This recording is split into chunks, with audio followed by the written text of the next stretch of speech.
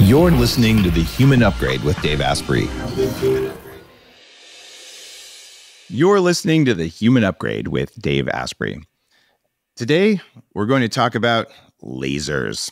And when I say that, you can sort of imagine me putting my little finger up lasers, Austin Power style. But lasers have been a part of biohacking for a long time. In fact, one of my first, uh, in fact, the first discovery of light therapy that I ever had uh, was sometime in the mid to late 90s.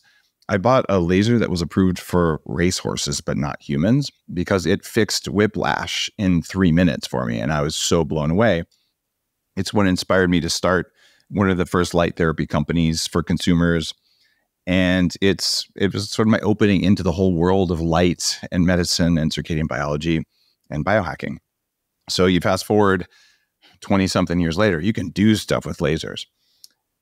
This is a special mini episode of the human upgrade where I just want to introduce you to people who are doing new and innovative work in the world.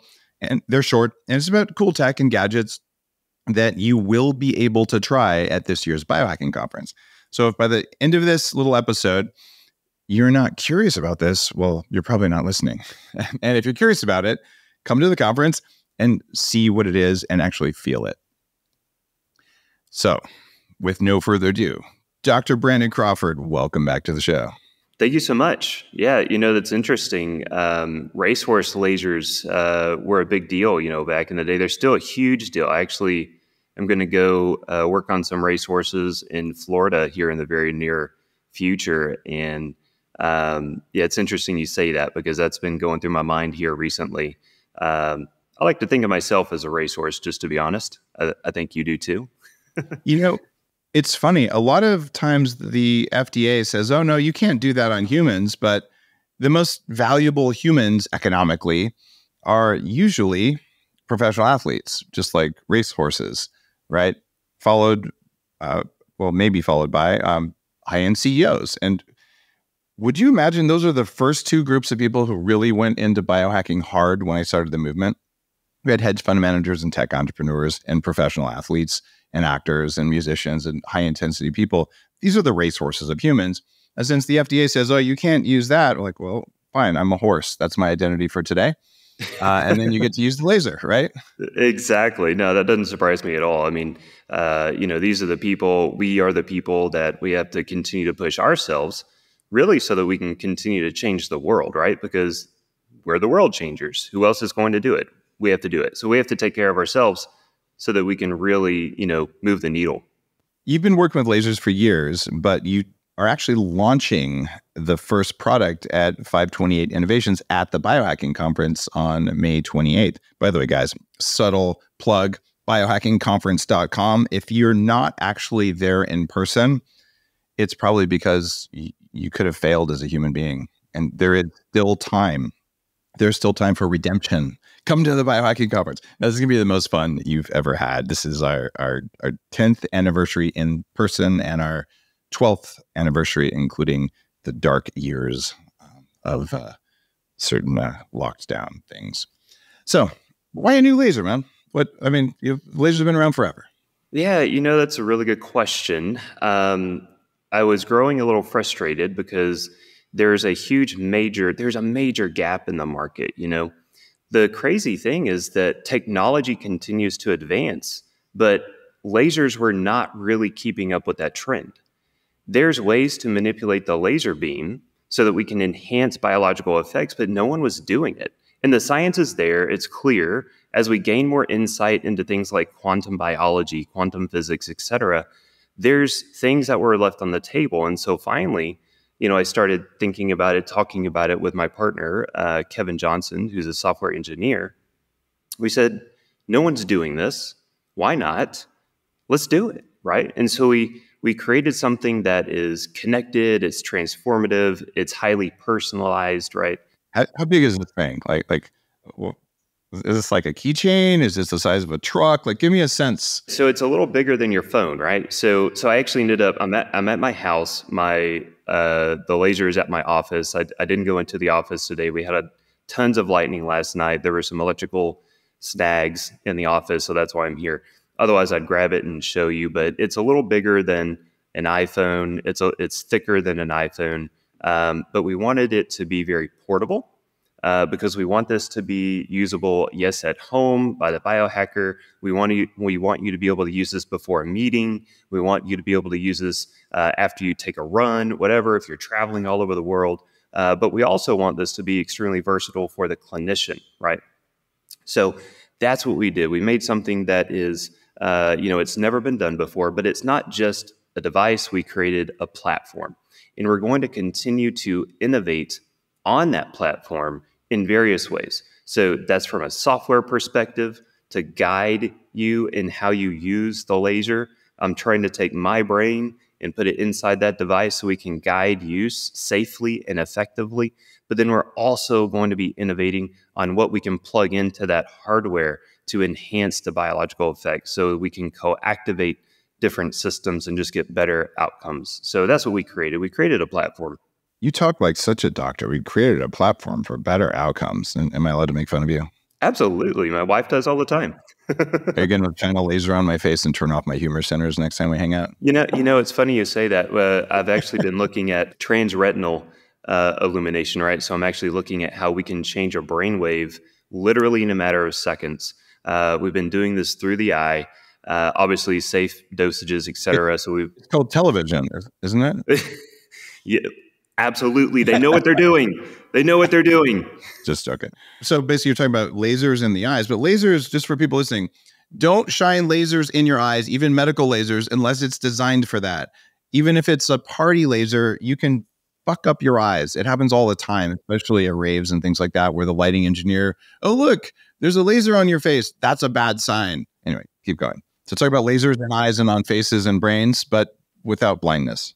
Right, right, right. You're right. We're using very specific dosages. Um, that's a great segue, you know, to really talk about the type of laser beam that we've created. We've actually created a higher power laser beam, but a much safer laser, right? And this is part of that innovative technology that was not being leveraged. So we we have a team of optical engineers, software engineers, mechanical engineers, and they they all thought we were crazy.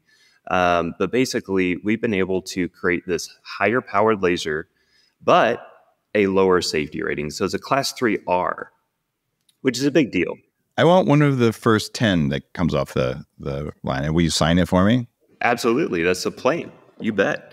Um, but but while we were doing this, just another segue. I'm really excited about this pilot study, just to be honest, um, because it, obviously, you know, our thalamus is very connected to our vision. 25% of the thalamus is dedicated to vision. The thalamus generates our higher order brain waves and so when I started playing with this, you know, you can change a brainwave by shining the specific modulated laser into the eye from a certain distance away and brainwaves changed immediately and then stayed right? That was the big deal is it they were sustained for a longer period of time. It blew my mind. And so that those are some of the things that i'm working with right now just you know in pilot studies in my office. Super exciting. And for people who didn't uh, see the full episode with you i mean you're you're taking kids with brain damage and using lasers at specific frequencies, and you're repairing their brains. And I've used your laser on my brain. I've, I've showed your previous laser, the the great grandfather of, of, the kind of tech that you've just developed, uh, and uh, it it works. We've used uh, lasers at 40 years of Zen at various times, also to activate parts of the brain. And for people who are going, what do you mean lasers on the brain? You're insane. You have a skull yeah, you can shine light through bone. That's how it works. And my my first brain stimulating uh, light therapy was made by a guy on a Yahoo group who made a couple hundred of these little 808 nanometer infrared high powered LEDs that are not as good as lasers. And that thing restored some of my brain function. And when I used it for too long over my language processing center, I spoke in garbled sentences for about four hours and scare the crap out of myself. So there's no question that intense light can do things to the brain. But what we know now that we didn't know back, you know, 20 years ago is the color of the laser. And people confuse frequency and color with lasers a lot.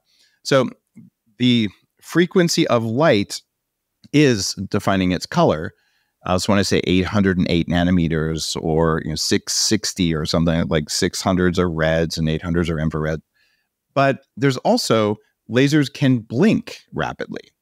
And that's another frequency on top of the first frequency. And as I understand it, you're doing both, right? Correct. Yes, we are doing both. Um, and we're actually going a little bit beyond that, but you're right. So the wavelength is going to define the color of that laser. And so uh, I love 808, like you mentioned, 808 nanometers. I love uh, 975 nanometers. Um, 975 is actually something a little newer that we're bringing to the market because of. I haven't played with that before. Yeah, so I did a huge, um, you know, uh, research review and found that that specific wavelength, within you know reason, you know, variance of about 20 nanometers, depending on the study, um, really seemed to influence exclusion zone water. And what we're seeing now yeah, is that exclusion zone water is actually acting like a chromophore in and of itself. It means it's actually acting like a light receptor in and of itself. And so that's exciting. Okay. Let me uh, ground our listeners in what we just said. Um, exclusion zone water is a special form of water that is inside your cells. It's what your cells use to make uh, energy to do all their cellular processes. And the guy who pioneered this work is Dr. Gerald Pollack, who's been on the show. And years ago, I funded research at his lab, and he uh, found that butter oil, not necessarily cream, but butter oil, ghee, um, in the presence of infrared light, which is what you're talking about, formed the highest exclusion zone water that he'd seen and this is a fourth phase of water. And so people say that's not real. Well, there's entire textbooks about this. This is real, and you can see it on a microscope. It's it's not one of those things that that there's questions about. We don't know everything about it, but if you can see it and recreate it, and you know what makes it better or worse, that means we've got something that's quite real. And what you're saying is that you found a frequency of light that when you shine it into the body, that it helps to make exclusion zone water. And this is important. Otherwise, your mitochondria have to burn energy to make exclusion zone water to convert the water you drink into water you can use to make energy. So, whether you're drinking butter in tea, like I did in Tibet many years ago, or butter in danger coffee because it's got the minerals and all that stuff, that's one way of getting exclusion zone water. And you can take a part of the body where the muscles are knotted and sore or part of the brain where it's underactive and you can activate the water with a laser which then allows cellular processes to start functioning again. Did i get that right? Absolutely. Yes. And it's vital because you know once you have this cellular swelling right if you have an injury or something like that you begin to lose efficiency within the, the electron transport chain within the mitochondria. And so you need that exclusion zone water then to generate more electrons through the electron transport chain. So without it, that's what really leads to a lot of the chronic inflammation issues, right? So, yes, absolutely. How much is a laser? So, we have various ones, right? So, we've got the 808 nanometer and the 975 nanometer. Both of those are coupled with a red 638 nanometer, right? So, we're going to have two different modules being released. The 808 nanometer coupled with the 638 is uh, 9,900. The uh, yeah, the 975 nanometer coupled with the 638 is going to be $1,000 more. Um, there's going to be a package deal with them together. There's going to be special discounting for the biohackers, uh, specifically at the conference. Um, so there will be special pricing at the conference and then for about a month afterwards. Um, but here's what we did we literally said, look, we want to source the best. We will only want to provide the best. Um, so everything is premium. Everything is top of the line. Um, we definitely did not skimp on this. So this is a very high quality device, and you're going to get very high quality results. I want to say something here there are lots of people listening to the show who can go out and spend $10,000 on a laser, and you'll be glad you did if you do it just because you have it at home. And when you have a headache or something, or a joint pain or something, you can, you can handle it. There are a lot more clinicians on here, or chiropractors, or health coaches, and incorporating a laser into your practice, it, it's, it's pretty amazing.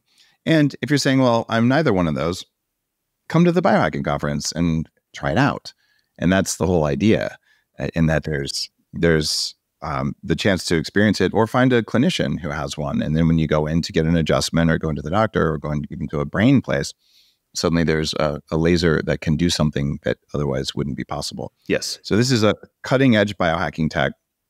It isn't yet consumer pricing, and maybe it will be. And a word of caution you can go to Amazon and buy a quote medical laser for about 69 bucks. It's just a laser pointer. and can you activate acupuncture points by shining a laser pointer on them? Sure, absolutely. There's actually research on that. You can. It just doesn't do very much. It's less than a needle, but it's very low cost.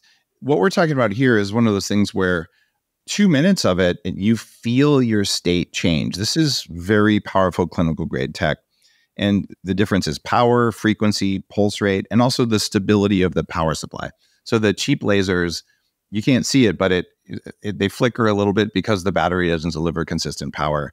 And bottom line is getting a signal into your body, which is the very basic definition of biohacking. Change the environment around you and inside of you so you have control of your own biology. Well, the environment around you includes light. But if you get a dirty signal versus a clean signal in, it's different. The sun, when it's giving you light, it's a clean signal. So the better the quality of the laser, the better the results, as long as it's the right frequency and if the pulse rate is the correct one. So I'm really excited to try out the new laser. And just as a clinician, I know you really, really know your stuff. And guys, I want you to go to 528innovations.com to, to learn more. It's 528 as always says it, but the URL is just the number 528innovations.com to learn more. And go to the biohacking conference at biohackingconference.com and meet Brandon, talk with him, um, tell him about that weird brain thing you have. And he'll be like, oh my God, shining up your left nostril. And then who knows, one eye might be bigger than the other. I'm just telling you, this is not uh, not a weak laser. And most people are just shocked at the state change. You shine it over your the center of your chest or over your GI tract or over your vagus nerve. This is kind of a magic wand. So I, I'm really excited about this and I am looking forward to seeing you there. Thanks, Brandon. Absolutely. Thank you, man. And as always, thank you for creating this movement. You know, last year was just amazing being able to see all the lives being changed. Uh, so thank you so much. Ah, you got it, my friend. You're listening to The Human Upgrade with Dave Asprey.